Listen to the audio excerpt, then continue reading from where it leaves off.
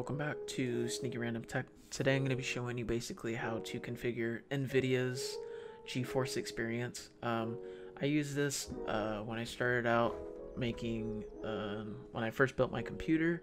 Um, obviously I don't really use it too much now. I use Streamlabs OBS. Um, if you want me to make a video on it, um, I will gladly make a video on it. If you would like, let me know in the comment section. But today we're going to be doing NVIDIA's um, GeForce Experience. Um, also, if you haven't subscribed already, make sure you do that. Also, I'm at 22 subscribers, which is pretty crazy.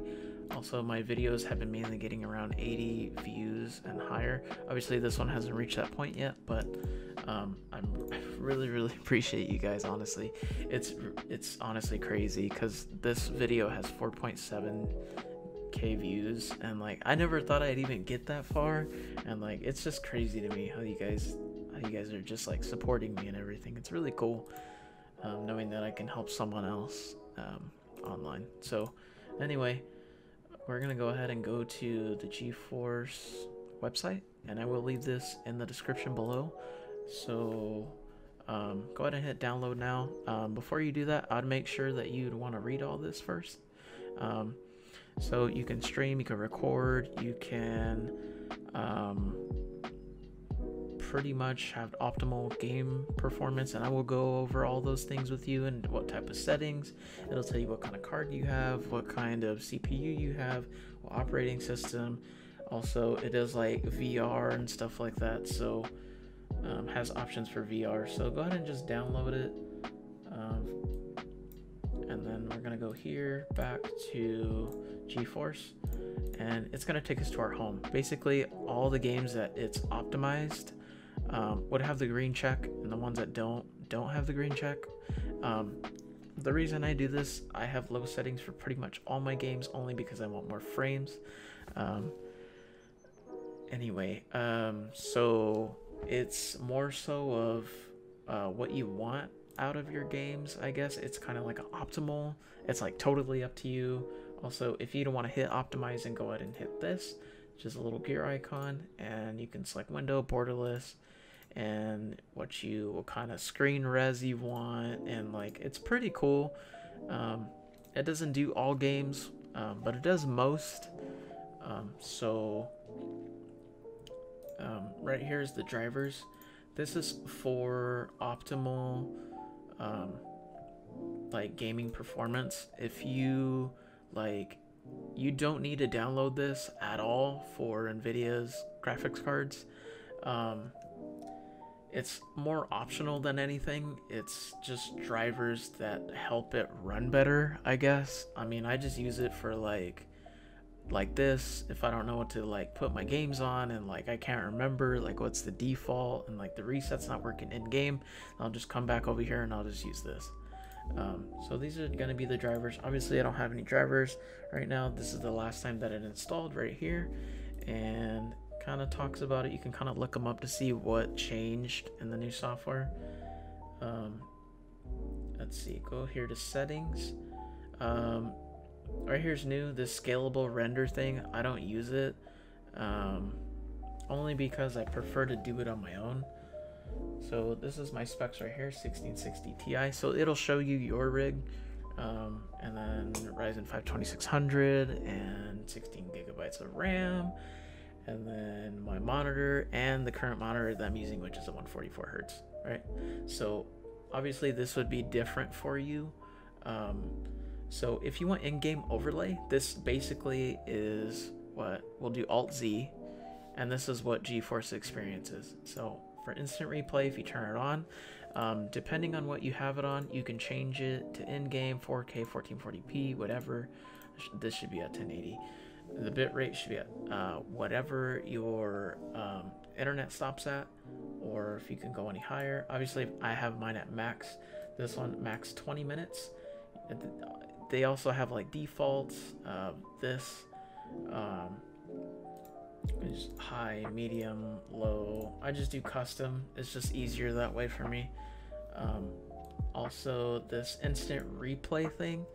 Um, if you hit it for 20 minutes and say like the game wasn't even long, that long, you can also trim it to however long you want.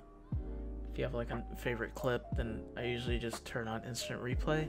You can take a screenshot, photo mode, game filter. Game filters are really cool. Photo mode's really cool too. Um, just like cool little features that you can use. Uh, this is the recording. Uh, obviously, it it by bitrate and minutes and resolution, broadcasts. You click on settings. I have my Twitch set up. It supports Facebook and YouTube and then Twitch. So.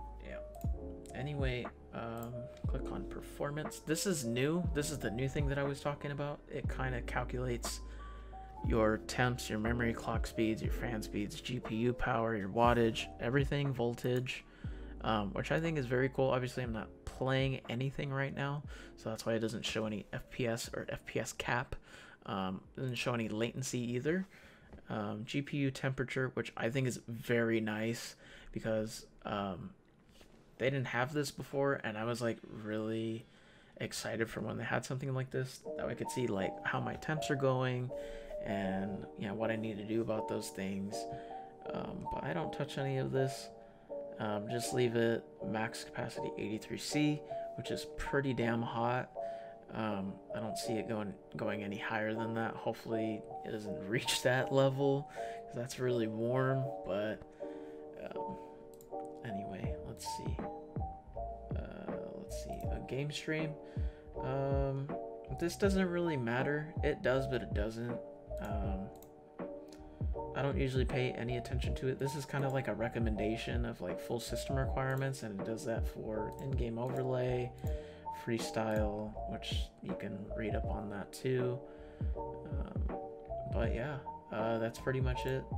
And to turn on overlay, just click that, hit settings, and you can connect um, your um, stream, YouTube. It pretty much has a lot here. Uh, if you want to see me stream, it's Gassy Ninja, uh, my little villager from uh, Animal Crossing there. There's plenty of other things uh, to stream on here. Also, HUD layout. This is status indicator that you are recording or streaming. Performance, you can always put down at the bottom. Um, basic, advanced. As you can see right here, it's changing latency um, I just turned mine off. There's no point. I already have, you know, Apex has in-game um, FPS and like stuff like that. Um, so viewers, you can put it down here if you'd like. Comments up there. I don't have any of those turned on. I just have the status indicator that I'm actually recording or streaming. I feel like that helps out a lot to see if I'm actually doing something. Uh, shortcuts here, you can always reprogram them. Um, it's uh, basically a recording key press. So you can change these. Go ahead and hit back. Recordings, where you want your recordings folder to go. You can map those out. Um, broadcasting, I went over this earlier. Highlights. I have a folder for highlights and maximum disk space so I don't hog up too much space on my disk drive or SSD, hard drive, whatever, external. Um, it'll cap it at this maximum. So, which I think is very nice.